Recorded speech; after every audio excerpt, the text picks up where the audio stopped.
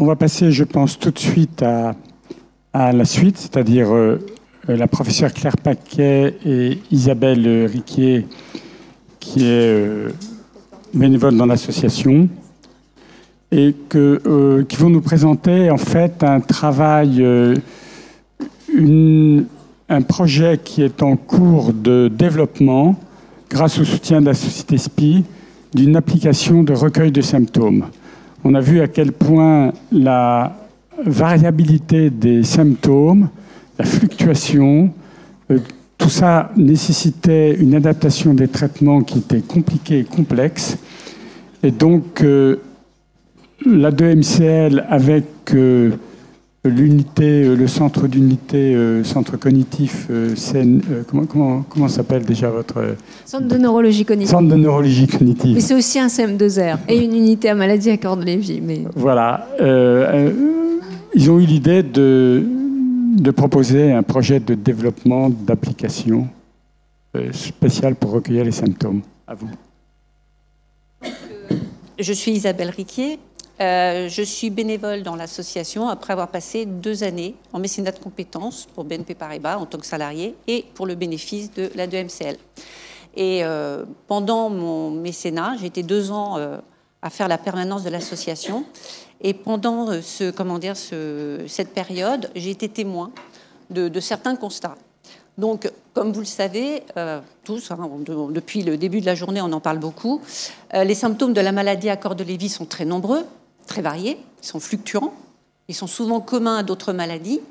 Et euh, lors des consultations, eh bien, euh, les malades, comme les aidants, vont plutôt évoquer euh, ce qui les gêne dans la vie courante, ce qui les, perturbe le plus, ce qui peut être le dernier symptôme observé. Et du coup, bah, ils oublient parfois d'évoquer certains, certains symptômes. Donc, bah, forcément, le médecin, en bout de ligne, eh il peut difficilement euh, apporter un traitement aux symptômes. Et euh, discussion après discussion, euh, la professeure Paquet a eu une idée.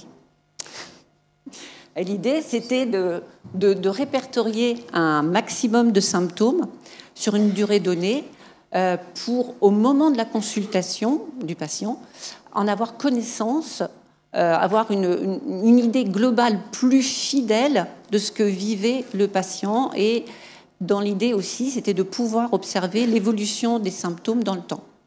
Donc l'objectif, évidemment, c'est de traiter les symptômes en fonction de leur intensité, en fonction de leur typologie, et pour adapter, personnaliser le traitement, puisque on sait chaque patient est différent, les symptômes sont différents euh, d'un patient à l'autre. Certains disent voilà, je, j'ai eu des personnes au téléphone qui me disaient Mais je vois un tigre au, pied de mon lit.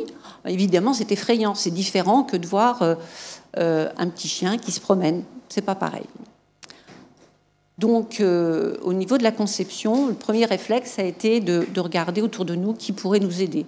Moi, mon réflexe a été de demander à un ami, ancien collègue, s'il avait des idées pour nous faire quelque chose. Et puis, bah, très vite, on s'est orienté quand même vers, euh, vers une société qui, est venue nous apporter son expertise, et euh, c'est la société SPI, ICS, euh, avec laquelle nous avons fait un contrat de, un mécénat de compétences. Encore un, hein, c'est utile les mécénats.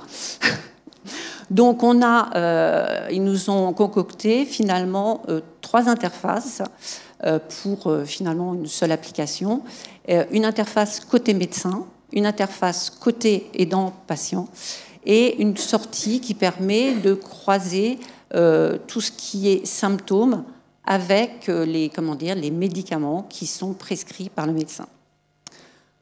bien évidemment, nous appuyons sur les symptômes de la maladie à corps de Lévy. Donc, tous en fonction de leur typologie. Donc euh, il y a évidemment les, symptômes cognitifs, physiques, les troubles du sommeil, et à cela sont ajoutés tous les, tous les, comment dire, tous les problèmes d'autonomie euh, à la réalisation de tâches courantes. En tout, 40 symptômes. Ceux que vous avez pu voir dans la présentation précédente, euh, que l'on a mis en place en papier, ce qui nous a permis d'évaluer leur utilité en amont de l'application. Maintenant, on va euh, vous, je vais pouvoir vous montrer les maquettes de cette application, des deux interfaces, hein, trois, mais là, les deux premières sont dynamiques. Et euh, euh, ce sont les maquettes de l'équipe d'Emmanuel Boudaille, donc de SPI. Et vous allez entendre euh, Loïc qui, qui a fait maqueter ces applications. Voilà. Donc là, c'est une vidéo. Hein. C'est une vidéo et ça On devrait avoir le son avec. Il faut peut-être cliquer sur la vidéo. Voilà, donc ici nous sommes connectés en tant que médecin. Nous voyons la liste des patients. Nous pouvons accéder ici à l'historique des saisies pour ce patient. Le médecin a la possibilité ici de créer euh, un nouveau euh, formulaire, par exemple pour Adèle Vance et pour par exemple le 16 août ici. Donc le 16 août est rajouté. Il est possible d'envoyer, de diffuser donc, le lien euh, vers ce formulaire à l'aidant au patient en cliquant directement sur ce bouton, la petite enveloppe qui est là. On a une notification qui apparaît ici. Nous avons la possibilité ensuite de revenir sur ce formulaire ici pour préciser éventuellement des informations médicamenteuses via ce bouton en haut à droite. Il n'y a que le médecin qui accède. Par exemple ici, je renseigne les informations. Tout ceci est, évidemment paramétrable. Pardon. Je vais pouvoir ensuite revenir sur des saisies passées pour voir par exemple l'intensité des symptômes qui auront été saisis. Voilà, donc là j'ai l'intégralité pour un patient donné des différents formulaires renseignés et je peux également ici accéder aux différents patients. Donc voilà pour l'interface médecin. Euh, nous allons maintenant voir l'interface euh, aidant-patient. Voilà, donc ici nous sommes connectés en tant que médecin. Nous voyons la liste des patients. Nous pouvons accéder ici. Ah Quand on se connecte, pour un patient ou un aidant. Voilà l'écran que nous observons, c'est-à-dire qu'il n'y a plus de bouton comme l'interface médecin nouveau, bien sûr. Il y a juste la possibilité d'accéder aux formulaires qui auront été précisés par le médecin pour les renseigner. Donc là, je clique sur le crayon. Il n'y a pas des autres boutons pour euh, supprimer ou pour euh, envoyer la notification, bien évidemment également. Donc avec le crayon, j'accède directement au formulaire de recueil de mes symptômes et je vais pouvoir pour chaque symptôme donner la fréquence en enregistrant ici chaque saisie. Donc je vais sur les euh, saisies euh, qui m'intéressent directement en cliquant ici. Je peux préciser ici également un certain nombre de choses. Voilà, j'enregistre. Et donc là, le médecin, lui, va pouvoir voir en temps réel ces informations de saisie. Donc voilà, une interface très simple pour le patient. Il voit l'historique de ses saisies et il peut les modifier. Nous allons maintenant voir l'interface. Et là maintenant, c'est l'interface côté médecin, une fois les symptômes croisés avec les, médicaments qui ont été prescrits par, euh, euh, qui lui ont été prescrits. Donc euh, là, on voit les graphiques qui concernent les symptômes au niveau cognitif.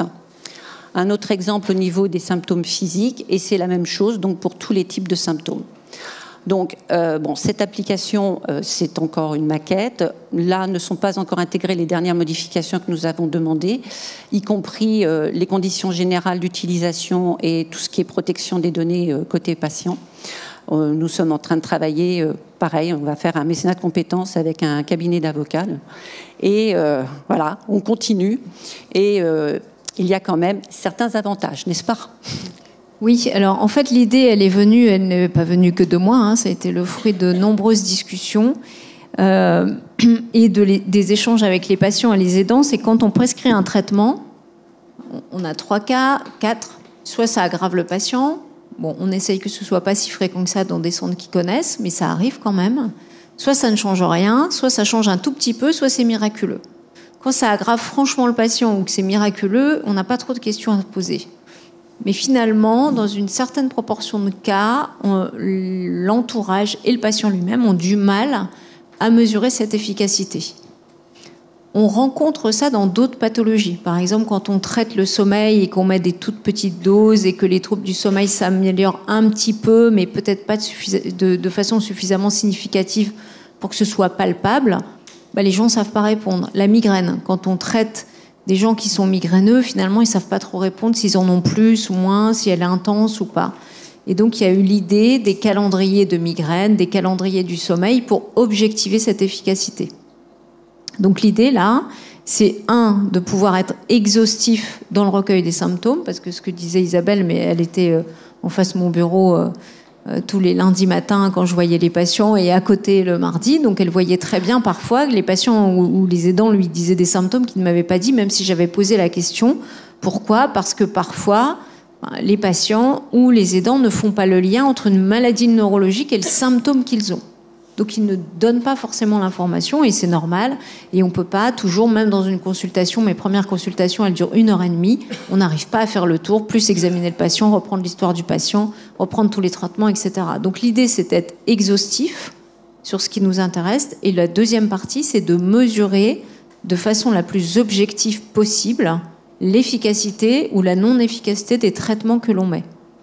Et ensuite, L'avantage aussi, c'est sur le long, plus long terme, on peut avoir une évolution, parce que vous voyez là, on a mis des dates euh, sur quelques mois, mais on peut dire on rentre des données en janvier 2023, et puis euh, bah, on va regarder en janvier 2024. Qu'est-ce qui a évolué? Qu'est-ce qui a changé? Et parfois, moi je fais faire parfois des plannings du sommeil où on a fait euh, des actimétries, où je fais recueillir des symptômes. Et en fait, je me rends bien compte que quand l'entourage arrive à le faire ou le patient arrive à le faire, ce qui n'est pas toujours simple, on arrive à objectiver des choses que l'on n'a pas à l'interrogatoire. Et même les personnes, quand elles regardent, elles disent Ah ben oui, il y a deux semaines, effectivement, euh, les hallucinations étaient moins fréquentes. Il en avait que le soir ou il en avait que le matin et maintenant il n'en a plus qu'un jour sur deux. Donc l'idée de l'application, c'est ça, et c'est le fait que les personnes puissent remplir au moment où ça arrive, parce qu'on sait très bien que quand on essaye de se souvenir de ce qui s'est passé il y a six mois, il y a un an, enfin, on n'y arrive pas, hein, et c'est normal, la mémoire est faite ainsi. Donc voilà, c'est essayer d'apporter le traitement le plus précis possible au regard des symptômes. Donc euh, voilà, et, c'est plutôt bien, je pense, pour les accompagnants euh, et les patients de pouvoir remplir sur euh, smartphone, tablette, ce qu'on veut. Nous, on a développé d'autres applications un peu de cette façon-là, et c'est aussi bien pour euh, le médecin d'avoir à cliquer euh, sur euh, son smartphone très rapidement plutôt que d'écrire vous observerez ce, symptôme-là, donner la feuille, la feuille est perdue. Enfin, vous voyez bien comment ça peut se passer dans la vie de tous les jours. Donc voilà, donc on est encore dans des étapes préliminaires et puis il faudra essayer cette application et probablement apporter des modifications au regard de ce que nous diront les patients, les aidants et également euh, les médecins ou les autres soignants d'ailleurs. Hein, ce ne sera pas réservé aux médecins. Voilà. On est ouvert aux questions, si vous voulez. Oui, il ne faudra pas hésiter, euh, à l'issue donc euh, de ce que vous avez pu voir, si vous avez des remarques, de nous les faire parvenir sur notre site contact 2 mclorg parce que, bien évidemment, on pourra les, les ajouter euh, aux, remarques que nous avons déjà faites euh, sur ces maquettes. Voilà.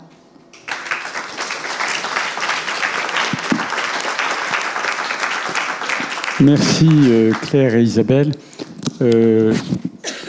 bon, on, a vu que les, les médicaments, il fallait attendre 15 ans encore pour, avoir, pour espérer les mettre en, en fonction et commercialiser. Euh, je pense que là, on va, on va gagner quelques mois. Je sais qu'il y a encore un peu de développement à faire, mais je pense que dans quelques mois, on va dire, on pourra les utiliser. Ouais, oh, sur les nouveaux traitements, je suis d'accord, il faut encore du temps. Mais je pense qu'on a beaucoup d'outils thérapeutiques existants, c'est ce que disait quelqu'un tout à l'heure, hein, avec lesquels on peut améliorer le quotidien des patients. Hein la problématique, c'est qu'ils n'ont pas été évalués clairement dans la maladie à corps de Lévy et qu'on tâtonne, quoi. Et comme chaque patient est différent, on tâtonne. Mais en tout cas, on a quand même déjà des molécules pour améliorer le quotidien. Les nouvelles molécules, c'est une euh, vaste question. Oui, Bernard.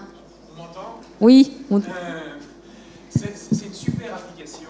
En fait, euh, ce qui fait que c'est particulièrement utile dans la maladie à corps de Lévy, ce sont les fluctuations par rapport aux, autres malades de maladie d'Alzheimer. En fait, un autre secteur où ça tout à fait utile, c'est la maladie de Parkinson idiopathique. Parce que là aussi, on a des symptômes qui fluctuent sur la journée. Et un intérêt que j'y vois, d'une part pour la firme qu'il développe, de pouvoir le développer davantage, mais d'autre part pour les neurologues plus généralistes qui ne sont pas en centre universitaire, qui ne sont pas dans les cliniques mémoire, si ce genre d'outil est à un moment donné adapté pour différents types de pathologies neurologiques, c'est qu'à un moment donné, le neurologue va l'utiliser même s'il n'a pas de malade à corps.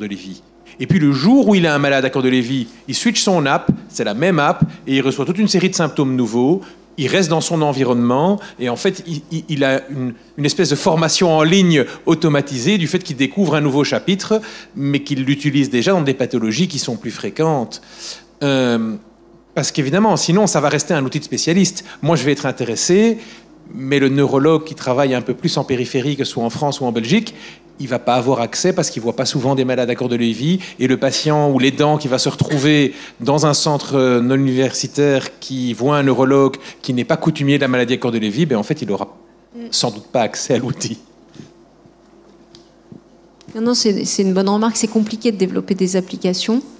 Et, et, euh, et, on se rend compte, pour en avoir développé avec Julien Dulanger notamment, euh, qu'une fois qu'on a l'application, on s'est dit ah mais pourquoi j'ai pas pensé à ça? Mais vraiment a priori c'est compliqué et c'est vrai qu'il faudrait faire euh, euh, plusieurs champs. Nous ce qu'on essaye de développer c'est une plateforme d'application en fait, à la fois pour les médecins, mais c'est très très long et les systèmes changent. Enfin bon, les mises à jour, l'application marche plus après la mise à jour. Enfin ça c'est donc là ce qu'on aimerait déjà c'est pouvoir l'utiliser pour les traitements. Et effectivement si on voit que c'est très utile, c'est quelque chose qui peut être diffusé et après je pense que ce qu'a dit euh, Leslie tout à l'heure, hein, dans les maladies chroniques, les patients sont acteurs de leur maladie. Ils peuvent arriver avec cette application et dire au médecin. Euh, et je pense que ça peut être un bon guide, hein, même pour les médecins coordonnateurs, dans les EHPAD, etc. Ça peut être. Euh,